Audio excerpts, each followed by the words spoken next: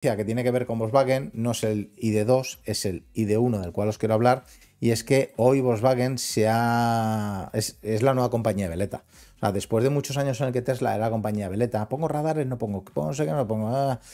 Y que cada dos por tres decían una cosa distinta. Ahora parece que se ha calmado bastante la cosa en Tesla, donde no se calma más en el grupo Volkswagen, que Vamos a hacer en Sagunto, pero vamos a esperar con la salida de Estados Unidos. Bueno, pero vamos a ir poniendo la primera piedra, pero ojito con Estados Unidos. Coño, aclarar de una vez y hacer las cosas. Pues nos presentaron el ID2, el, ID2 la semana pasada.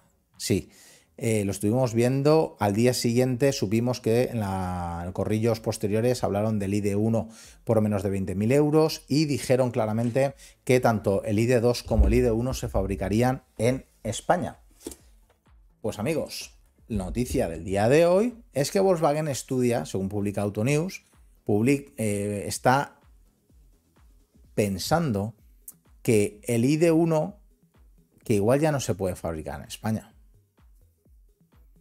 Precio inferior a 20.000 euros, márgenes ajustados, llegarán en 2023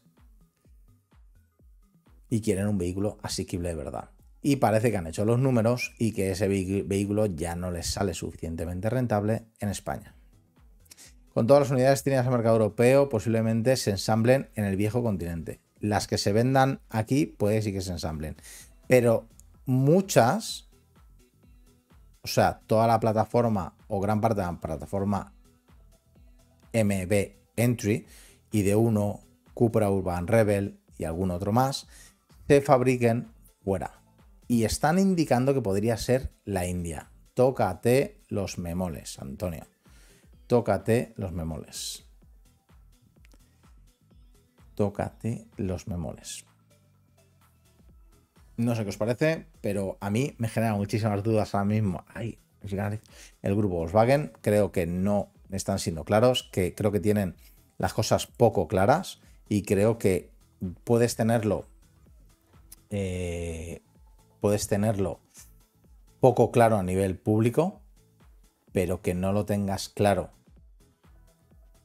O sea, puedes tenerlo poco claro a nivel interno, pero tienes que tenerlo claro a nivel público, porque si no la sensación y la imagen, que por lo menos a mí me da, supongo que a muchos de vosotros también, Tesla, Tesla, eh, Volkswagen ahora mismo, es que de verdad cada 2x3 están cambiando de idea, cada 2x3 están pivotando y cada 2x3 no están haciendo las cosas del todo bien.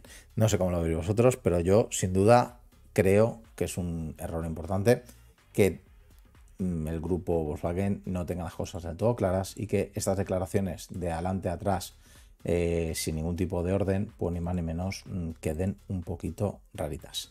Pregunta como siempre, ¿qué os parece? ¿Creéis que está haciendo bien eh, Volkswagen en llevarse este modelo afuera y directamente no a, hacerlo en España o cómo lo veis.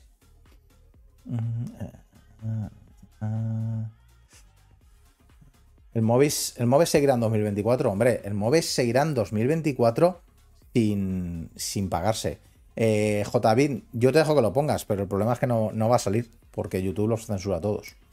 Eh, ahora, ¿tú te lanzarías a, por el MG a poder esperar lo digo por Cherry, sobre todo, que se supone que está a puntito. Eh, Cherry está bastante a puntito, pero creo que primero venía, por lo que nos dijeron a nosotros, en ¿cuándo fue? ¿A final de año? Eh, venían en principio con el Omoda, y el Omoda en principio es de combustión. ¿El ID2 se acabará fabricando en Alemania? Pues ya es lo que nos faltaba. ¿Cuándo se van a dar cuenta de este gobierno que las marcas europeas nos ningunean? Pues sí, Volkswagen está fuera de juego, pues es de las que menos está fuera de juego. A ver, la que creo que está más espabilada de las europeas es Renault. También os lo digo, yo lo dije acabando la vuelta a España. O sea que, mm, pero sí, está la cosa bastante, bastante complicada. Amigos,